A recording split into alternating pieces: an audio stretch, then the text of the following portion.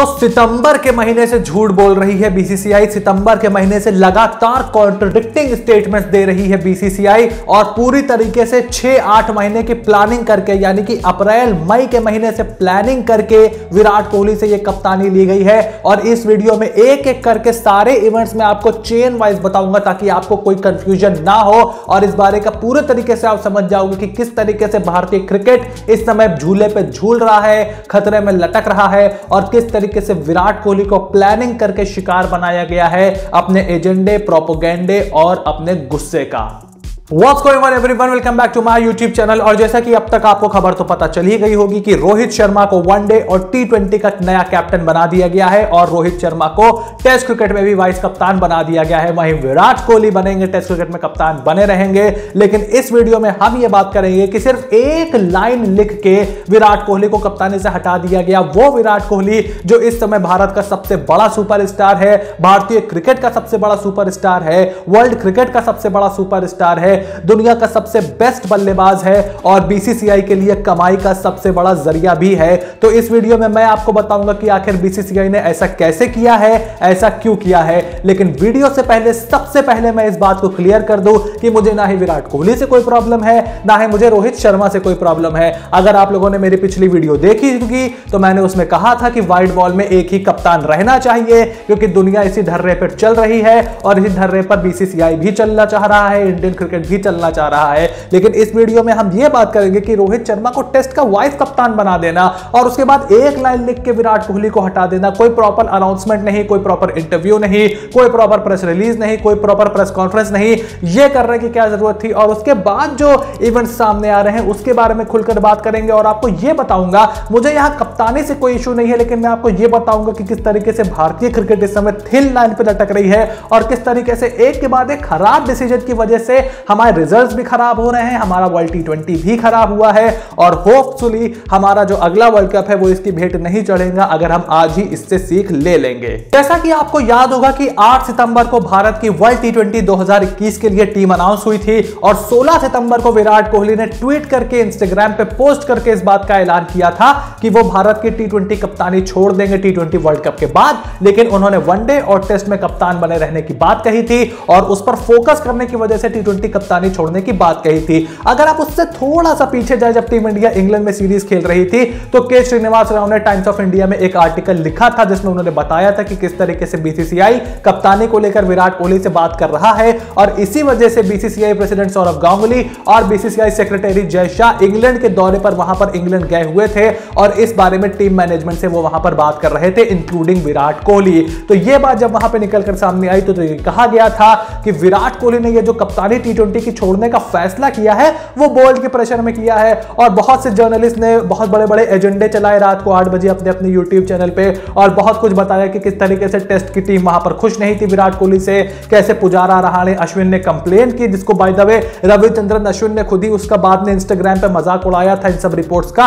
हालाँकि उन्होंने कहा कि सीनियर प्लेयर खुश नहीं थे। अब यहाँ पर पहला सवाल तो मेरा जर्नलिस्टों से है कि भाई आप जो भी जर्नलिस्ट हो आप बहुत आपने बीस पच्चीस साल काम किया है। एक, एक सिंपल लॉजिक अगर हम यहाँ पर समझ लें। तो बीसीसीआई गई थी मतलब बीसीसीआई सेक्रेटरी और प्रेसिडेंट गए थे इंग्लैंड ठीक है? इंग्लैंड में आपके मेन टेस्ट प्लेयर कौन है? पुजारा, रहाणे ईशांत शर्मा, उमेश यादव। भाई, जस्सी बुमराह के तो खुद विराट कोहली से बहुत अच्छे रिलेशन है और वो तो कुछ ना करते हुए भी मतलब कंटेंडर बने हुए हैं वाइस कप्तानी के, जबकि वो तो इतना ज़्यादा क्रिकेट और प्लेयरों के मुकाबले खेलते भी नहीं है क्योंकि वो फास्ट बॉलर है, उनको रेस्ट की ज़रूरत पड़ती है। तो जस्सी बुमराह तो वहाँ कंप्लेन करने नहीं लग रहे। के राहुल तो खुद ही टेस्ट टीम में परमानेंट नहीं है तो वो क्या कंप्लेन करेंगे विराट कोहली की? तो जो टेस्ट के प्लेयरों ने कंप्लेन की थी विराट कोहली की in the regarding the test team वो टी ट्वेंटी खेलते कहाँ है? तो अगर उनकी कंप्लेन सुन के बीसीसीआई ने विराट कोहली से टेस्ट टी ट्वेंटी की कप्तानी लेने की बात कही तो इससे टेस्ट की टीम का क्या फ़ायदा हुआ? जो टेस्ट के प्लेयर है, जैसे रहाणे, पुजारा ईशांत शर्मा, उमेश यादव, इनका क्या फ़ायदा हुआ? कोई फ़ायदा नहीं हुआ। तो ये बिल्कुल बेबुनियाद और एकदम बेवकूफ़ी वाली बात लगी। Coming back to the BCCI अब बीसीसीआई ने यह कहा कि भाई, फिर आपको याद होगा कि अरुण थोमल जो ट्रेजरर है, उनका एक स्टेटमेंट आया कि भाई, विराट से हमारी कोई बात ही नहीं हो रही कप्तानी को लेके, और विराट से हमारी कोई इस बारे में चर्चा नहीं हुई और विराट तीनों फॉर्मेट के कप्तान बने रहेंगे। फिर अचानक से टीम अनाउंसमेंट के एक हफ़्ते बाद विराट कोहली ने कप्तानी छोड़ दी सितंबर के महीने में। तब जयशाह, जो बीसीसीआई सेक्रेटरी हैं, उन्होंने यह कहा कि भाई, हम छह महीने से विराट कोहली से लीडरशिप को लेकर के बात कर रहे थे। अब छह महीने अगर आप बैक करोगे सितंबर से तो मतलब मार्च के महीने से, यानी कि जब हम वनडे सीरीज़ खेल करके हमने खत्म की थी इंग्लैंड से मार्च के महीने में, जो हमारी होम सीरीज़ थी, उसके बाद से आप बात कर रहे हो विराट कोहली से regarding the change in leadership in transition अब पहला मेरा सवाल यह है कि जब आप जानते हो कि टी ट्वेंटी वर्ल्ड कप आ रहा है तो आप क्यों एक बने बनाए कप्तान के दिमाग में कप्तानी का जो है पेज घुसेड़ना चाहते हो? पहले तो मैं ये समझना चाहता हूँ, अगर आप टी ट्वेंटी वर्ल्ड कप होने देते T twenty world cup Bharat हार जाता, जैसे हुआ अगर Bharat T twenty world cup हार जाता, तब आप कहते कि देखिए भाई, आपको हमने कई टूर्नामेंट दिए चैंपियंस ट्रॉफी पचास ओवर का वर्ल्ड कप बीस ओवर का वर्ल्ड कप सब में आपने कप्तानी कर ली।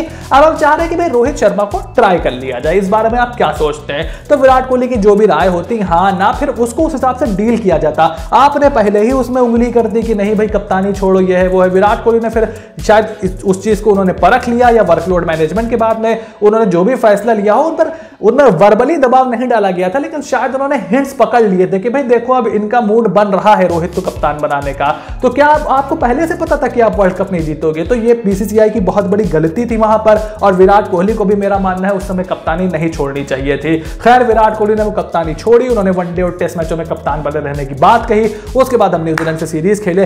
फिर अचानक पूरा मीडिया में ये माहौल बना दिया गया कि वनडे में एक कप्तान टी में एक कप्तान मतलब सेम कप्तान सेम कप्तान सेम कप्तान व्हाइट बॉल में सेम कप्तान व्हाइट बॉल में सेम कप्तान टेस्ट में अलग कप्तान। ये पूरा माहौल बना दिया गया और जब ये पब्लिक के दिमाग में बात बैठ गई, जब बिठा दी गई through social media through news channel through web portals through everything जब ये बात बैठा दी गई पब्लिक के दिमाग में, उसके बाद ये अनाउंसमेंट हुआ। आप न्यूजीलैंड सीरीज़ में अनाउंसमेंट कर देते। भाई, जब विराट कोहली ने टी की कप्तानी छोड़ी थी, आप उसी टाइम अनाउंस कर देते कि हम वनडे में एक ही कप्तान रखेंगे वनडे टी में। उस समय आपने ये नहीं किया, तब तो congratulation Virat thank you Virat, ये विराट, वो विराट। आप इंतज़ार कर रहे थे कि अगर ये टी वर्ल्ड कप हमें जिता देगा तो इसको वनडे कप्तान रहने देंगे। अगर ये टी वर्ल्ड कप हमें नहीं जिता पाया, जो कि नहीं जिता पाया विराट कोहली, क्योंकि आपने पहले ही टीम का माहौल वहाँ पर खराब कर दिया था। रवि शास्त्री एक एक करके पत्ते खोल ही रहे ना। आपने टी का टीम का माहौल वहीं खराब कर दिया टी वर्ल्ड कप से पहले, और उसके बाद विराट कोहली को आपने वनडे की कप्तानी से करा दिया। टाटा बाय बाय अब बीसीसीआई प्रेसिडेंट सौरभ गांगुली साहब ये कह रहे हैं कि मैंने विराट से कहा था कि भाई कप्तानी ना छोड़ना, नहीं तो वनडे की कप्तानी भी ये तुमसे छीन लेंगे। तो भाई उसी टाइम आप अनाउंसमेंट कर देते ना। और आपने कैसे किया? Mister Rohit Sharma will captain India कुछ नहीं, अगले दिन जब पब्लिक का बहुत ज़्यादा ट्रोलिंग होने लगी, तब अगले दिन आप लिख रहे हो थैंक यू विराट, ये विराट, वो विराट। आपने पाँच साल से कप्तानी करते हुए आपके सबसे बेस्ट बल्लेबाज को कह दिया कि आपने थैंक यू तक नहीं बोला। आपने कहा, mister Rohit Sharma will captain India क्योंकि हम चाहते हैं कि एक ही कप्तान हो। अरे भाई, आप चाहते होंगे जो चाहते होंगे। आप कम से कम एक कर्टसी तो फॉलो करिए। कोई प्रेस कॉन्फ्रेंस नहीं, कोई प्रॉपर स्टेटमेंट तक आपने नहीं दिया। दो लाइनें ट्विटर पे आपने लिख के चेप दी और उसी से सब समझ गए कि ये होगा। मतलब ये कोई वो थोड़ी चल रही है डिक्टेटरशिप की आप जो करते जाओ वो होता जाएगा और हम बस बेवकूफों की तरह टीवी देखते रहे। अच्छा आज ये कप्तान है अच्छा आज वो कप्तान है। तो भाई, काहे बात के हमसे इतने पैसे ले, तुम क्यों टीवी रिचार्ज करा करा के मैच देख रहे हैं? जब सब कुछ आप ही कर देना है। खैर, उसके बाद आपने जो एक बेबुनियाद और बेवकूफ़ी वाला डिसीज़न ये लिया गया है कि आपने रोहित शर्मा को बनाया है टेस्ट का वाइस कप्तान।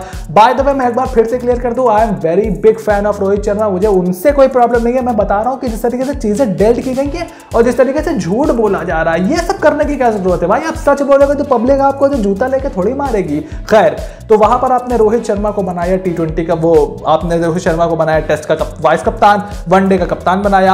आपने केएल राहुल को टी का वाइस कैप्टन बनाया है। मोस्ट प्रोबेबिलिटी के राहुल ही वनडे के वाइस कप्तान भी बनेंगे। तो एक बात आपको बता आप मुझे बताइए आप जो दूसरी टीमों का फॉलो कर रहे हो जैसे आप ऑस्ट्रेलिया को बता रहे हो कि व्हाइट बॉल में एरॉन फिंच और रेड बॉल में अब फ़िलहाल पैट कमिंस और व्हाइट बॉल में ऑयन बॉर्गन इंग्लैंड के और रेड बॉल में जो रूट वो ठीक है आप वो करो। अब आप एक बात बताओ जो रूट खेलते हैं test cricket Joe Root T twenty cricket नहीं खेलते, और आपके एरॉन फिंच जो है, वो खेलते हैं T twenty one day cricket वो टेस्ट क्रिकेट नहीं खेलते। उसके बाद आप वाइस कप्तानी पे आओ। ऑस्ट्रेलिया में आपके ज़्यादातर वाइस कप्तान बनते हैं ग्लेन मैक्सवेल और टेस्ट क्रिकेट में आपके वाइस कप्तान है स्टीव स्मिथ यानी कि जब पिक एंड चूज़ करने की बारी आएगी for the workload management for injury reason तो आप उस फॉर्मेट को जो है इंपॉर्टेंस दोगे जहाँ पर आपकी लीडरशिप रोल है, जहाँ कप्तान वाइस कप्तान हो। अब रोहित शर्मा आपके तीनों फॉर्मेट प्लेयर हैं, और तीनों फॉर्मेट में लीडरशिप रोल में है वो।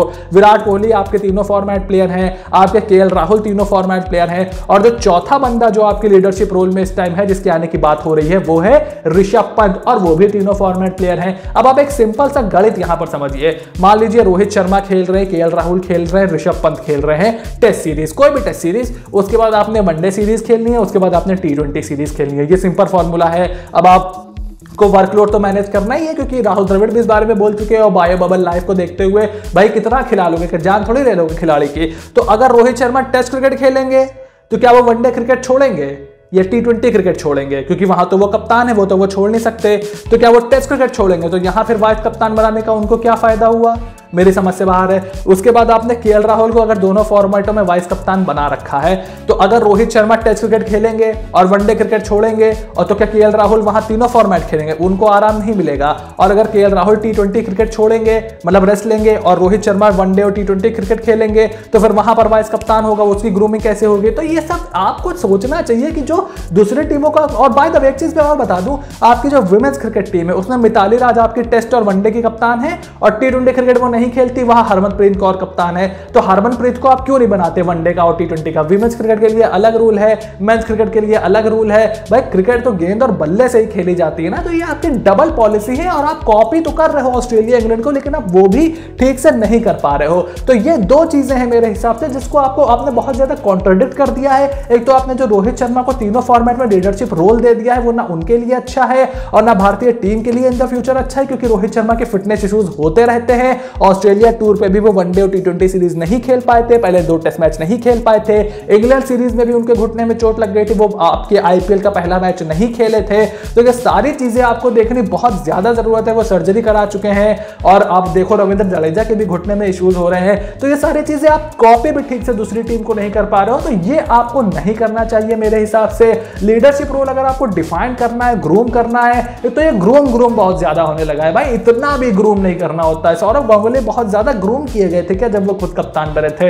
ये भी मेरी समझ में नहीं आता है खैर, क्योंकि ये सारे प्लेयर आईपीएल में कप्तानी करते हैं। भाई, बस सीख तो रहे हो, कितना सिखाओगे और किसको किसको सिखा दोगे? तो लीडरशिप रोल जिस तरीके से आप डिफाइन कर रहे हो, वो भी गलत है, और जिस तरीके से आप रोहित शर्मा पर एक्स्ट्रा प्रेशर डाल रहे हो, वो भी गलत है, और फिर जो आप कॉन्ट्रेडिक्टिंग कॉन्ट्रेडिक्टिंग स्टेटमेंट्स दे रहे हो, अब सौरभ गांगुली कह रहे हैं कि मैंने विराट से बात की थी कि आप जो है टी की कप्तानी ना छोड़ो, और ये अब जय शाह कह रहे हैं कि वो छह महीने से विराट कोहली से बात कर रहे थे तो ज़्यादा कॉन्ट्रडिक्टिंग स्टेटमेंट्स आ रहे हैं, बहुत ज़्यादा रायता फैल चुका है और उम्मीद करते हैं विराट कोहली टेस्ट टीम की कमान कम से कम संभाल लेंगे, रोहित शर्मा वनडे की संभाल लेंगे और ये जो रायता फैला हुआ है, इसका असर हमारे क्रिकेट पर नहीं पड़ेगा। अब इस पूरे मामले में आपका क्या ओपिनियन है? Make sure to write it in the comment section down below अगर आपको लगता है, अगर आप मेरी बात से इत्तेफाक रखते हो तो प्लीज़ वीडियो को लाइक करिए शेयर करिए चैनल को सब्सक्राइब करके मेरे काम को सपोर्ट करिए अगर आपको मेरे पॉइंट्स अच्छे लगते हैं। अगर आप उनसे डिसएग्री करते हो या आपके अपने पॉइंट्स है तो make sure to write in the comment section down below और इसी तरीके की एनालिटिकल वीडियोज़ के लिए, भारतीय क्रिकेट के लिए बने रहिए स्पोर्ट्स इनकाउंटर के साथ।